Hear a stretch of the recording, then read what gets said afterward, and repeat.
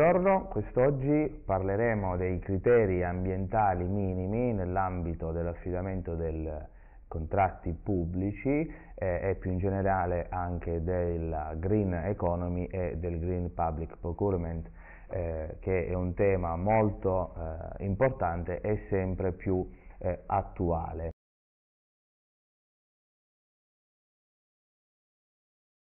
La Commissione europea infatti ha definito già con un documento del 2011 la green economy come una eh, che genera una particolare crescita, crea lavoro e sradica anche la povertà investendo e salvaguardando le risorse del capitale, eh, salvaguardando in particolare anche quelle che sono le risorse eh, del nostro pianeta. Eh, pertanto con il termine green economy noi oggi andiamo ad indicare quella che è una visione economica diversa, cioè tesa a quantificare e valutare eh, le implicazioni di carattere ambientale generate dalla produzione di beni eh, e eh, servizi. Quindi questa nuova metodologia, questa nuova visione comprende tutta una serie di eh, metodi e procedure di valutazione di impatto eh, ambientale, tra cui appunto quella eh, dell'attuazione nell'ambito dell'affidamento dei contratti pubblici, eh, l'applicazione dei cosiddetti criteri eh, ambientali eh, minimi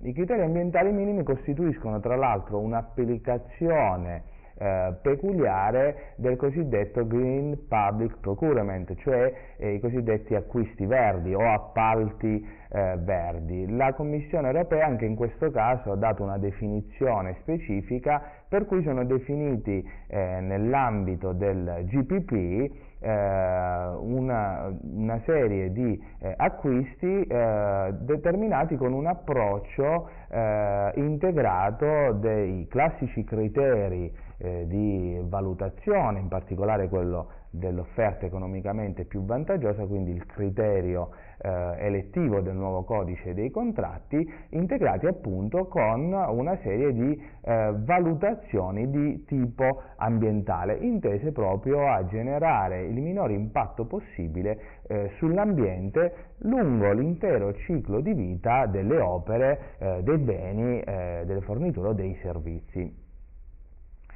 Tra l'altro in ambito europeo si sta assistendo ad un ulteriore sviluppo, o meglio un'evoluzione del Green Public Procurement verso eh, gli acquisti cosiddetti sostenibili, per cui oltre ad includere nell'ambito delle eh, politiche ambientali eh, una serie di normative intese a salvaguardare l'impatto ambientale, si tende anche a considerare eh, anche nell'ambito degli acquisti, eh, degli affidamenti di contratti pubblici, quelli che sono i temi di tipo sociale, oltre che i temi di tipo eh, economico. Per cui sostanzialmente gli acquisti eh, verdi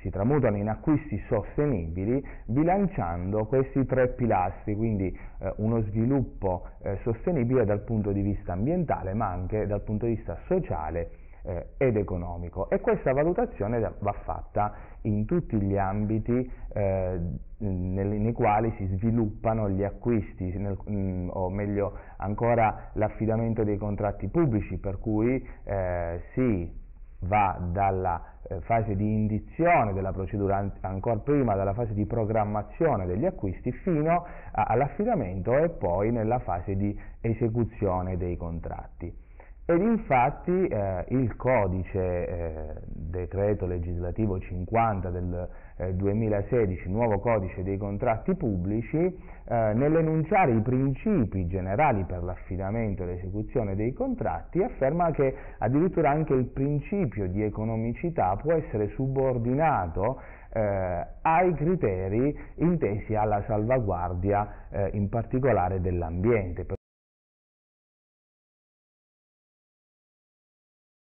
Per cui, come eh, dicevo, la eh, esigenza di eh, rispondere a criteri ambientali minimi eh, che vadano a salvaguardare lo sviluppo eh, sostenibile degli, degli, acquisti è un tema che permea l'intero ciclo degli appalti, per cui si parte dalla progettazione, dall'elaborazione del bando di gara, la fissazione dei requisiti di partecipazione dei concorrenti eh, alla procedura di gara fino alla definizione dei criteri eh, di valutazione delle offerte nonché le condizioni di esecuzione dell'appalto e dei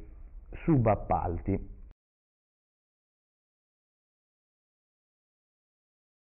Per quanto riguarda la struttura eh, di questi criteri ambientali minimi possiamo eh, indicare delle, eh, una strutturazione comune a tutti i eh, decreti che riguardano eh, i CAM, sebbene poi ognuno nella sua singola eh, specificità, eh, ma sono tutti eh, strutturati innanzitutto con una eh, premessa nel quale, nella quale viene riportata la normativa di riferimento eh, rispetto eh, alla quale il Ministero ha predisposto il singolo criterio ambientale minimo. Ci sono quindi le normative anche di ambito sociale, di riferimento, tutti i suggerimenti eh, proposti alle stazioni appaltanti anche in fase di analisi del fabbisogno, quindi anche di programmazione eh, degli acquisti, ovvero anche eventualmente un documento tecnico di accompagnamento che spiega quali sono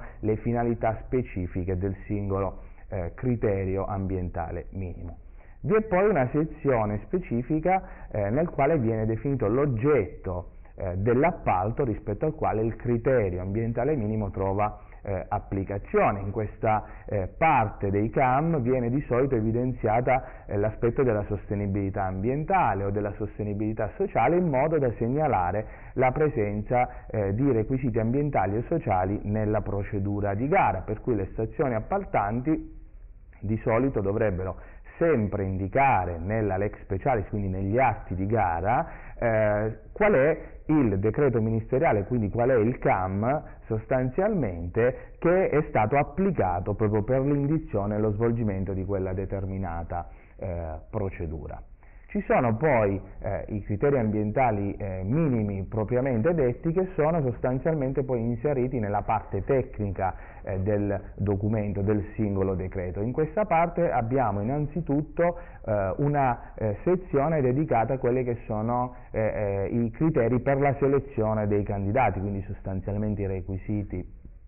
eh, di qualificazione soggettiva eh, ai quali i, le imprese eh, concorrenti devono eh, rispondere per comprovare la propria eh, capacità tecnica ad eseguire l'appalto in maniera conforme a quello che è definito eh, nel singolo decreto ministeriale. Eh, c'è poi la parte contenente le specifiche tecniche eh, vere e proprie, quindi i, i criteri ambientali minimi eh, veri e propri per cui vengono definite qui le caratteristiche tecniche specifiche ai quali eh, le opere, eh, i prodotti, quindi le forniture o i servizi devono necessariamente rispondere a pena di ammissibilità eh, per l'offerta.